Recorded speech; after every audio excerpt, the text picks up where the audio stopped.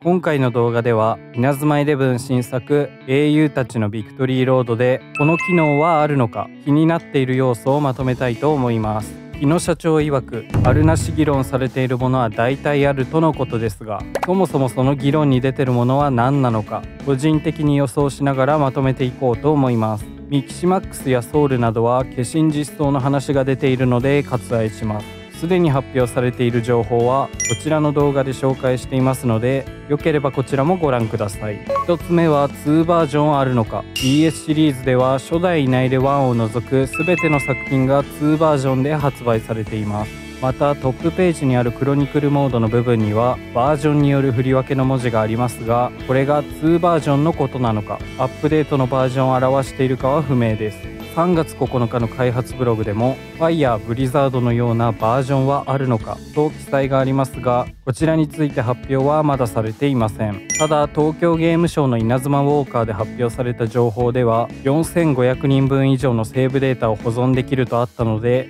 全てのキャラを1本に集約している可能性は高いです。バージョン分けするにしても敵キャラや秘伝書など振り分ける要素が全く公開されていないので現状では予想が難しい要素となっています。2つ目は技進化。遠藤編天魔編では必殺技に進化要素がありました。ゲームのいないれにおいて技進化はやり込んだ象徴とも言えるのでぜひこれはあってほしいです。ただアスト編であるアレスの天秤オリオンの刻印では必殺技進化はなかったので少し不安もあります。3つ目は実況。こちらはいないれに限らずサッカーゲームにおいて重要な要素かと思います。そしていないれでは角間親子マクスターランド矢島さんラクスガンといった実況者たちがいます。好きなキャラを使って試合をしていく上で彼らの実況は必要不可欠だと思うのでこちらもぜひ実装をお願いしたいところです。ちなみにアレスの天秤の体験版やいないれ AC でも角間さんの実況はありました。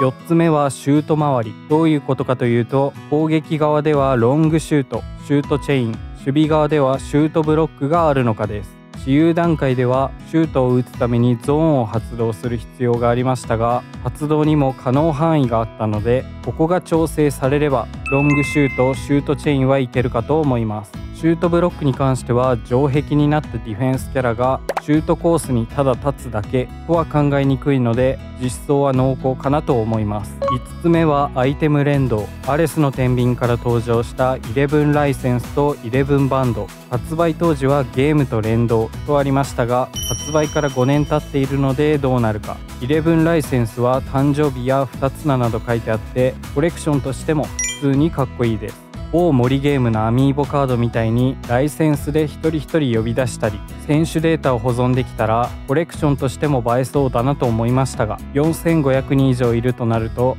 作る側も集める側もかなり大変。11バンドは発売当初に買った方ならご存知だと思いますが定価約6000円です。アニメの中ではある意味色々と活躍していましたが現実世界ではとりあえずポイントを貯める時計になってしまっています。いないで AC やっていた方ならコアタで使ったり限定衣装をゲットしていましたがこちらも現在はサービス終了。ただこの11バンドで貯めたポイントが仮にキャラのレベル上げに使えたりステータスの特訓に必要な熱血ポイントに交換できたり遺伝書と交換できたら一気に神アイテムと化すのでまずは早めに連動の有無だけでも教えてほしいところです。以上5つの要素が大体皆さんも気になっているんじゃないかと思うありなし論争の要素かなと思います。あと個人的にあってほしいのは過去に上げたショート動画と重なりますがチーム名の漢字表記ユニフォームエディット歴代オープニングやエンディングを見れるギャラリーなどあると嬉しいなと思います。